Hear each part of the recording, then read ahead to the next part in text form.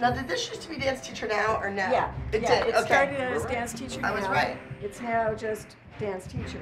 You'll be on October. Oh, okay. For back to school. That's It's great. our it's our competition issue. Woo! The competition issue. Perfect.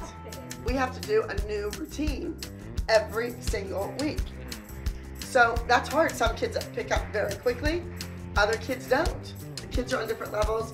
Some of the kids take class very seriously here at the studio.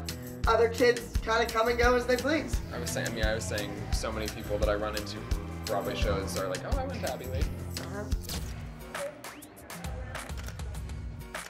feel like I'm doing. Turn the face a little bit more to me just to cheat it there, yep. Is there any way for us to pop your hair a little bit more the I said that. I know. Is there a chicken finger or something that I can stick underneath there? one more with the arms crossed like that and looking towards No, me. because I squish my boobs and I always then, then one on the hips and looking, yeah. Just a little bit lower with this. this is mine.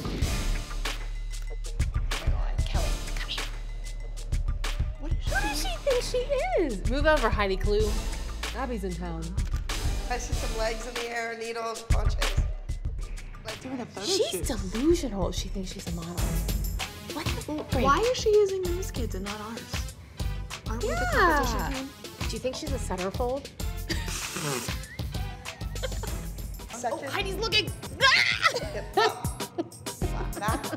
We're like paging Chloe.